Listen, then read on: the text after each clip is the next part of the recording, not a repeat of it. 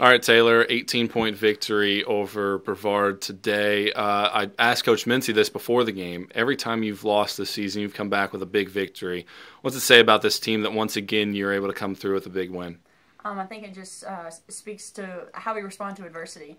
You know, um, some of these games we feel like we, we shouldn't be losing, and we lose focus in the at the end of games when we're up on team. Mm-hmm. So uh, the last thing we want to do uh, is to do that the, ne- the next game after we do something like that. So we come back and we come back stronger and make a statement tonight. As a senior, how have you taken leadership in those situations to make sure that the team doesn't lose their focus? Uh, I think the one thing that I do that I know coaches really stressed is like play my role. Like, um, mm-hmm. And I just I just kind of do whatever the team needs. If if we need to make sure that we have a player that we need to make sure we like box out, rebound, or I need to be scored that game, or I just need to get some assist in. I just kind of do whatever our team needs.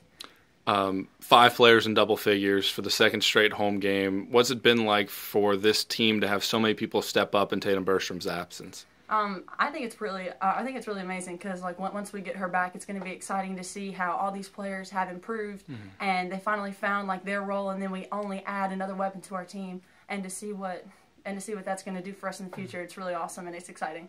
How is a game like this going to try to propel you guys into a long winning streak with another home game on Saturday?